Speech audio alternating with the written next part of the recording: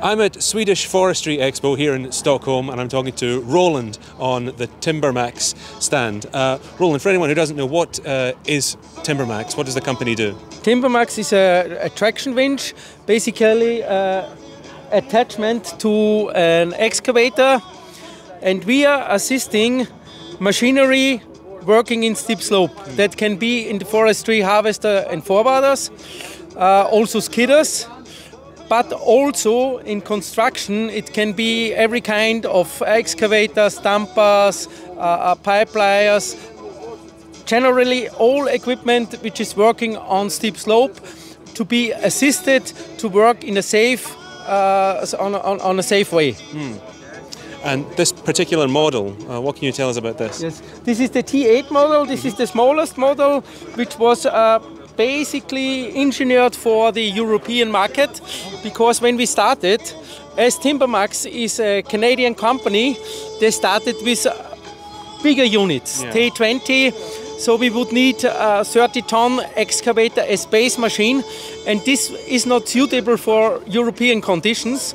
So we designed a smaller winch, uh, which is for 20 ton excavators, and the T8 has a 350 uh, millimeter, uh, 350 meter of 16 millimeter cable, and 8 stands for 8 ton constant pulling force. Mm -hmm.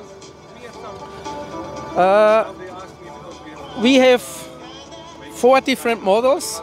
T8 is the smallest model, then T10, T14, T20, with T20 we have uh, two different types. Mm-hmm. One T20 with uh, 24 millimeter cable and uh, T20 HD for 26 millimeter cable. Right. So you say um, it's a Canadian company. It's a Canadian company, yes. But you have uh, distribution and, and, models that are designed for the European market. Uh, where are your customers? What is your distribution? I mean, our biggest uh, customer or dealer is in UK. RJ Fuchs mm. is uh, the dealer. In, he has been very successful, and he started uh, with us already in 2019 and has already operating 14 units. 14 units. Yeah.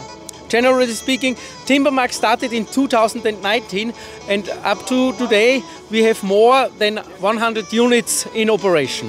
Wow. So Timbermax is active in uh, New Zealand, uh, uh, Australia, South Africa, Europe, and uh, North and South America. Mm -hmm. Uh, you've come to the, the Swedish Forestry Expo. Uh, why did you want to, to exhibit at this event?